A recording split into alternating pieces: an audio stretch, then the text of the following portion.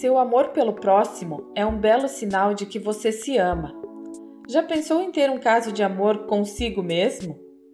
Aquilo que você julga no seu irmão habitou o seu coração primeiro. Tudo é uma coisa só. Somos todos partes do todo. Deus. Um somos nós. Julgar o próximo é se espelhar criando um reflexo da sua própria imagem. Se ame mais para que seu próximo seja amado também.